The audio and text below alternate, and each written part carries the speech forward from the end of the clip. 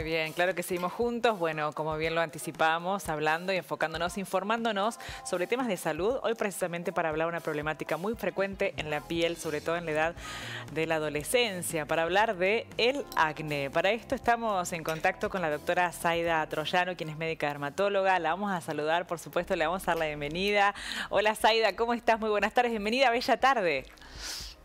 Hola Juli, muchas gracias por la invitación. Por favor, bueno, eh, justamente para, enfocarnos eh, en esta problemática tan frecuente en los adolescentes, pero que muchas veces también se prolonga, ¿no? Sobre otras etapas de la vida, pero ¿qué podemos decir acerca de eh, las causas del acné?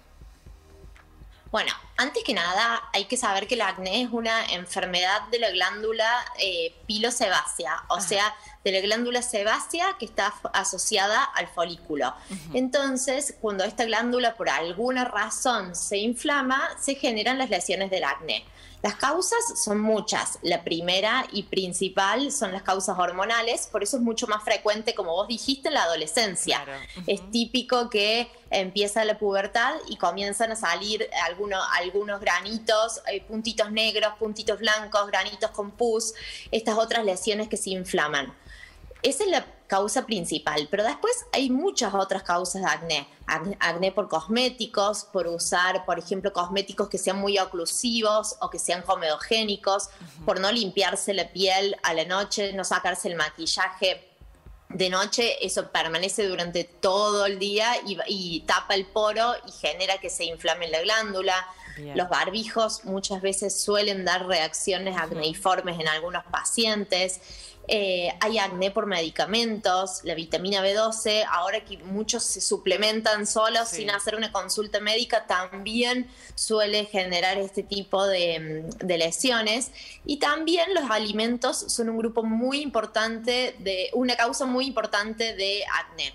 Si bien no a todas las personas, a muchas personas los lácteos les generan acné y eh, las, las cosas que aumenten rápidamente la insulina. Entonces, azúcares refinadas, harinas refinadas, yo a mis pacientes les digo, no es que nunca más te vayas a comer una torta, pero si notas de que te brotas, modera el consumo del alimento que te lo genere. Bien, bueno, pero vemos que es multicausal, ¿no? Esta patología eh, de esta glándula pilosebácea, como bien lo definiste, Zaida. Pero bueno, en esto, ¿cómo podemos definirlo para un correcto diagnóstico y un correcto tratamiento posterior, no? Hay muchos tipos diferentes de acné eh, desde el puntito negro, el puntito blanco, hay otras lesiones que se, que se llaman los comedones abiertos y cerrados, hay otras lesiones que son como pelotitas debajo de la piel, eh, que, que, uno las toca y que duelen y que es muy inflamadas. Y después tenemos las cicatrices. Yo siempre les digo que es muy importante hacer una consulta con un dermatólogo y no automedicarse con productos de venta libre, que por ahí las publicidades son súper eh, llamadoras y vos decís, bueno, me pongo esto y voy a tener la cara divina o me pongo esta máscara y me saco así, me saco todos los granitos, porque muchas veces terminamos empeorando eh, la situación. Entonces, siempre con consulta y de acuerdo a la edad del paciente, a si tiene necesidad o eh, ganas de procrear o no, eh, a los hábitos, no es lo mismo alguien que trabaja en una oficina, alguien que trabaja todo el día al aire libre, elegimos el tratamiento correcto. Muy bien, bueno, muchas veces también eh, solemos subestimar ¿no? esta patología, pero a veces realmente complica ¿no? la vida social, sobre todo si estás, si están en la adolescencia, muchas veces, bueno, eh, genera cierta incomodidad, ¿no? O lo dejan pasar, pero bueno, ¿cuándo realmente requiere un tratamiento, ¿no? O cuándo va a ser algo temporal que verdaderamente va a pasar? Antes, cuando nosotras éramos chicas, decían, uy, tiene acné, listo, ya se le va a pasar, es por la adolescencia. Eh, yo con mis pacientes prefiero, los trato cuando el paciente le molesta realmente, porque muchas veces la percepción individual de cada persona para mí es súper importante.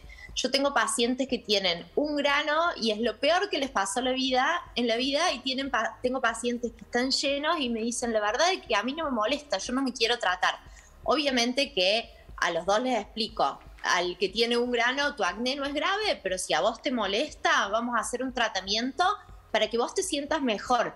porque justamente aparecen en esta edad, en la adolescencia, que es donde están formando su personalidad. Entonces, para mí es súper importante que el paciente se siente bien con consigo mismo y con su piel para poder relacionarse con el resto. Entonces, si tenés un grano y te molesta, es hora de que consultes y que te den el tratamiento correcto a los pacientes que tienen, al contrario, muchísimas lesiones. Más que nada pasa con los adolescentes varones que me dicen, a mí no me molesta, mi mamá me trae a la consulta, les explico, bueno, si no hacemos tratamiento te pueden quedar cicatrices, podés estar años con este acné.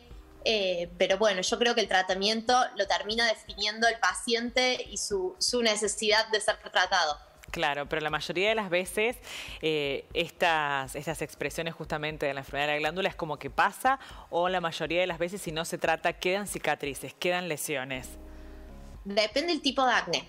Si vos tenés el, el, acné, el que es en el puntito negro, el puntito blanco, el granito con pus, ese si no lo apretás, en general pasa, se cura y no te queda ninguna cicatriz. A lo mejor te queda una manchita roja donde tuviste la lesión que con el tiempo se va yendo. Bien. Pero hay un tipo de acné específico que es el acné nódulo quístico que se llamaba antes, que es este que tienen las pelotitas debajo de la piel. Sí. Entonces, estas pelotitas como, eh, están más profundas. Claro, más rojizas si se quiere, ¿no? Y más como en masa. Rojizas, más grandotas, como si fuese una pelotita caliente que duele mucho. Este tipo de acné está más profundo en la piel, entonces está en la dermis, la desorganiza, como el que está apareciendo justo ahora en la pantalla.